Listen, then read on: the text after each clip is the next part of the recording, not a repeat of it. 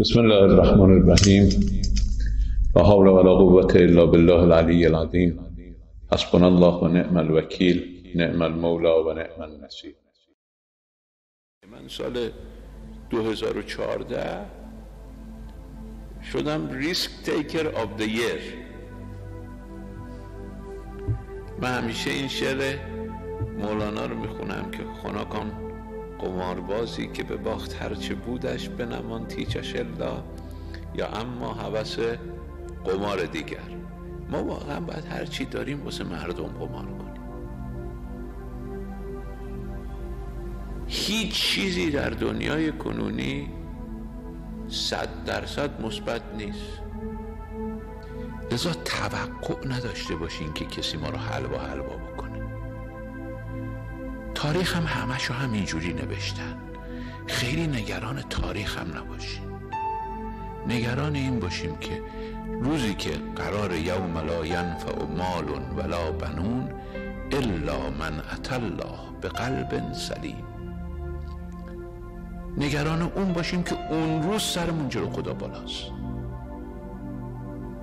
همه اون چیزای دیگهش اگر واسه اونا کار کردیم هیچ ارزشی نداره تش. اون که داره در فضای کشور اتفاق میفته به دلیل جهل نیست.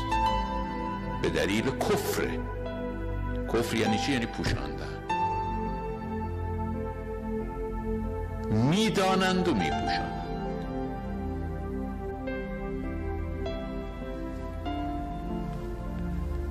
یحرفون الکلم. احساس نکنید که نمی‌دانند.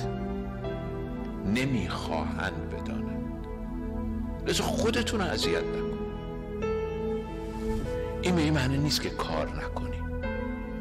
این به این معناست که واسه خدا کار بکنیم. نه واسه این که فلان آقا بیاد بگه بله فبوهت الذی کفر. خیالش راحت بشه. و فی آزانهم بقرا دستشون می‌زنن تو گوششون که نشنون. این واقعیت ایناست. از این چیزا ناراحت نشین. اگر خودتون باورتون شده که اینه از صفات امیرالمؤمنین این بوده که میفرمان در مورد ایشون ولا تخافون فی الله لومت لائم. نمیترسید از هر ملامتگری. به قول بازم بازم حضرت امیر میفرماد لا تستوهشو فی طریق الهدا لقلت اهله. ما اومدیم واسه کشور داریم یه کاری می‌کنیم. و حتما طریق هدایت همینه که واسه کشور کار بکنیم. ما نیمدیم رهبری نظام استوانه نظامه تکیهگاه نظامه ما اومدیم هزینه بشیم که نظام حفظ بشه کشور حفظ بشه رهبری حفظ بشه. ما نیمدیم از رهبری هزینه بکنیم.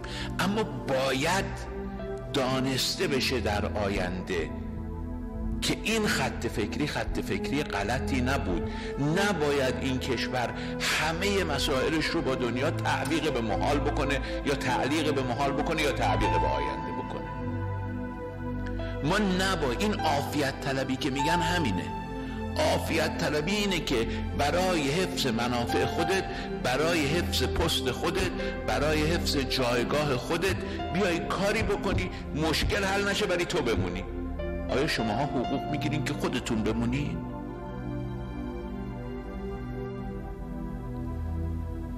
یعنی وظیفه ما دو تا وظیفه داریم. یک وظیفه کارشناسی داریم یک وظیفه مجری داریم. در وظیفه کارشناسی شما تقلید از کسی نباید بکنید. در وظیفه کارشناسی تقلید حرام. مثل اصول دین میمونه در اصول دین شما نباید تقلید بکنید. در وظیفه اجرایی هم نباید اجتهاد بکنین اگه بهتون گفتن یه نامه بنویسین که تو این نامه اینو باید بیارین همون همونو باید بیارین. خیلی نامه هایی که من می ممکن خودم قبول نداشته باشم. اما دستور اومده آقای نکته رو میفرمودن می‌گفتن فلانی میاد مخالفتش رو به من میگه ولی وقتی من دستور میدم عین دستور منو میره اجرا می‌کنه. حتی اگه 180 درجه مخالف نظرش باشه. این به خاطر خشک مقدسی نیست. سیاست خارجی جز این عمل نمی‌کنه. شما نمی‌تونید ده تا سیاست خارجی داشته باشید. فقط یه سیاست خارجی می‌تونید داشته باشید. و از این که نیست گفتم این حرف حضرت امیر خیلی مهمه. لا تستوحشو فی طریق الهدا لقلت اهله. در راه درست از این که خیلی ها همراه شما نیستن نگران نباشید.